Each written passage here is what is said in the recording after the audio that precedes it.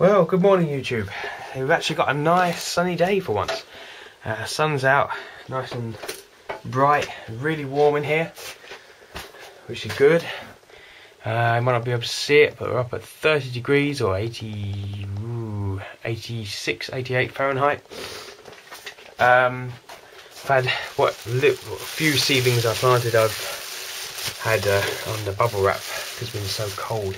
We've actually got two, oh, two little seedlings come up. These are the, uh, the Gardener's Delight tomatoes, and the Cherry Cascade has not come up.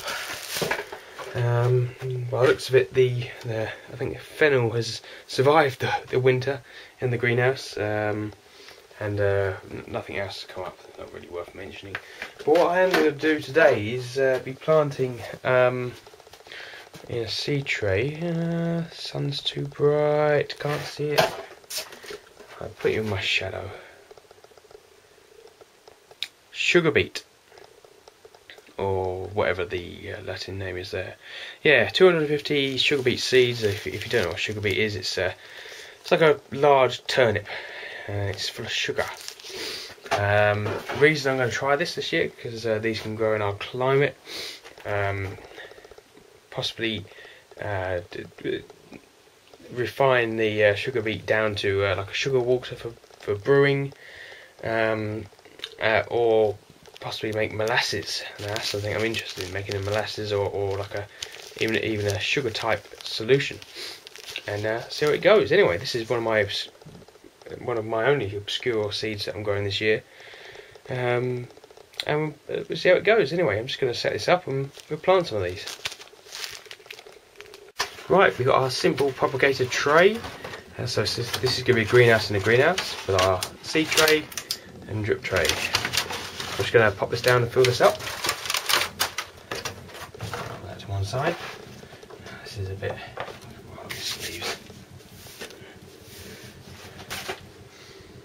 can't see the screen on this, so I don't know if you're in shot. Right. Right, so I'm just going to fill this up loosely.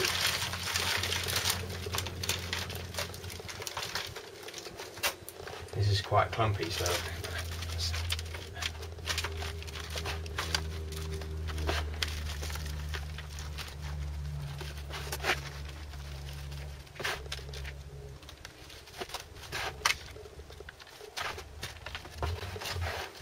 Yeah, just about judge that right.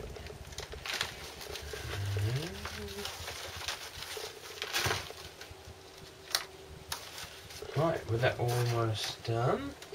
Our sugar beet seeds.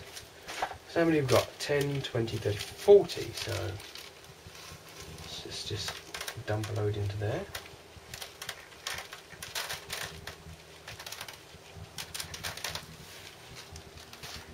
I'm going to try and show you the seeds. Now,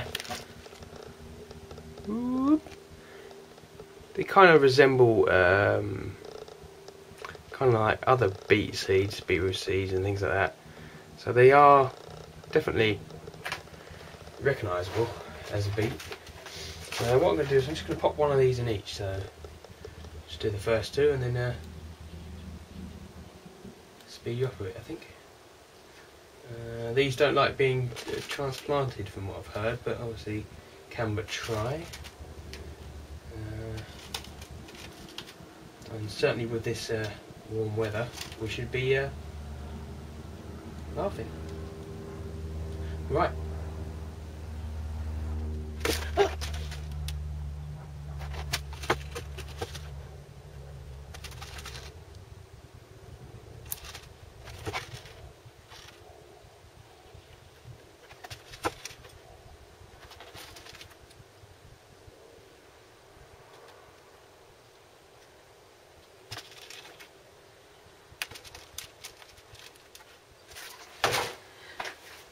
Once that's done, just simply poke them underneath the top of the soil with uh, a, a pencil.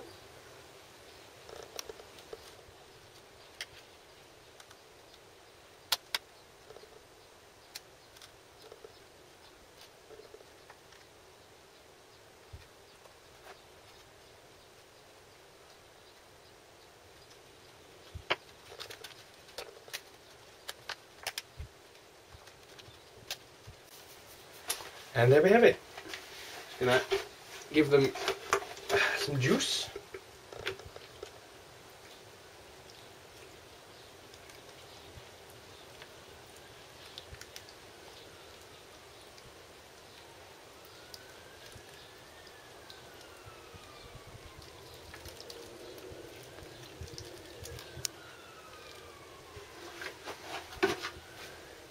and stick the lid on.